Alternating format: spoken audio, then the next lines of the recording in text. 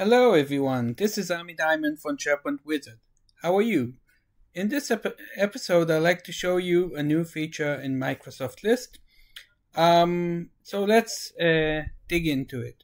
So um, I created a new list which is called Job Application Tracker. It actually uh, exists in the new uh, one of the templates that when you go to New and List, you can see here all kinds of templates. One of them is Job Application Tracker.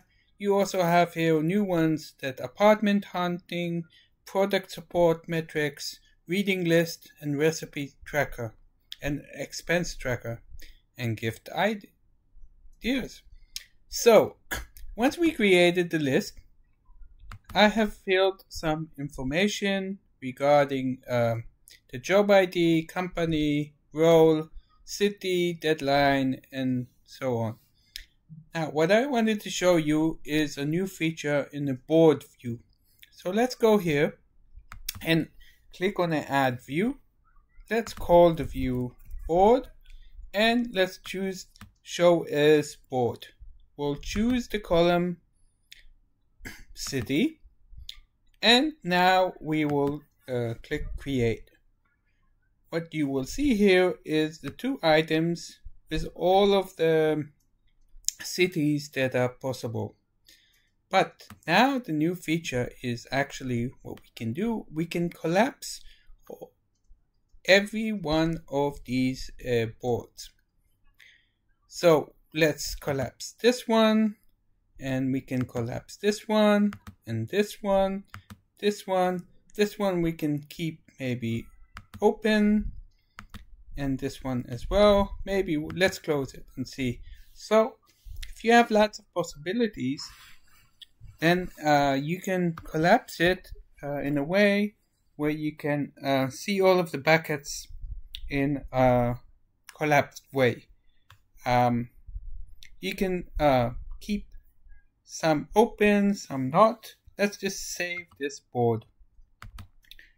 And now if we go to the first view and now go to board, it is saved. Assuming we want to keep some of them open, we can also save it.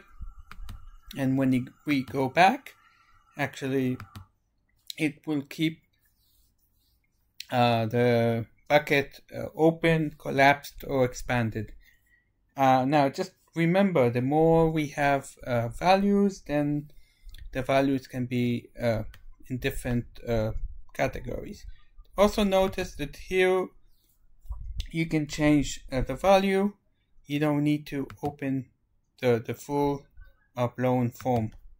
Now, additional thing is that we have in the three dots, we can have the show and hide bucket. So if we don't want to see San Francisco, we can choose to uncheck this and click apply. And now San Francisco doesn't show even though it has a value. So you need to decide maybe um, when do you want to use it or maybe not. Uh, maybe I would want to the unassigned to hide. That makes more sense.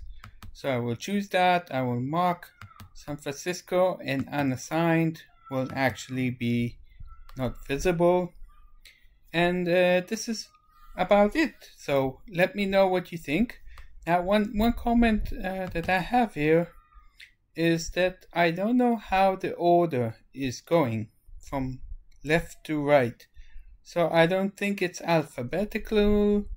I I wish you could drag and uh, set the order or maybe the order would be ABC or something else. Currently it's just how you see it.